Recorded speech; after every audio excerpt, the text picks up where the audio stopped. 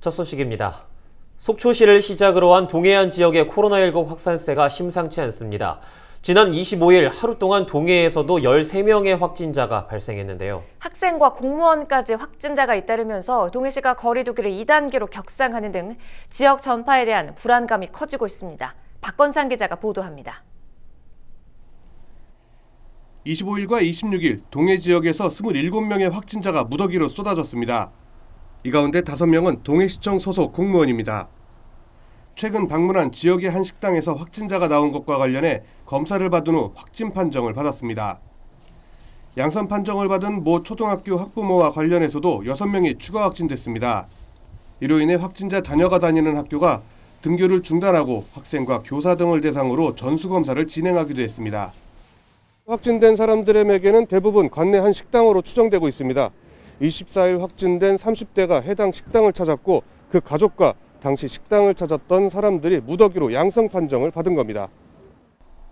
동해시는 지역사회 연쇄 감염 우려가 커짐에 따라 사회적 거리두기를 27일 자정부터 2단계로 상향 조정하고 전방위적인 방역 강화에 나섰습니다. 지금 강원도 역학조사관 및 감염병 대응단 인원 5명을 추가 요청하여서 시 역학조사 담당자도 이제 두 배로 늘리는 등 확진자의 동선을 조기에 파악하여 코로나19가 더 이상 확산되지 않고 조속히 차단되도록 최선의 노력을 다하고 있습니다. 느슨해진 방역은 동해시뿐이 아닙니다. 최근 일주일 사이 속초와 고성, 양양 등 동해안 지역 신규 확진자는 90명이 넘습니다.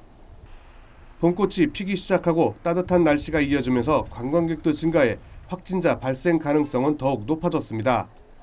이에 따라 지자체들은 봄꽃 축제를 취소하고 관광객 방문 자제를 당부하는 등 방역 수칙 준수와 협조를 당부하고 있습니다. 정부의 방역 수칙을 좀 철저히 지켜줘야 되는데 다소 그러지 못한 부분이 있어서 좀 아쉽습니다.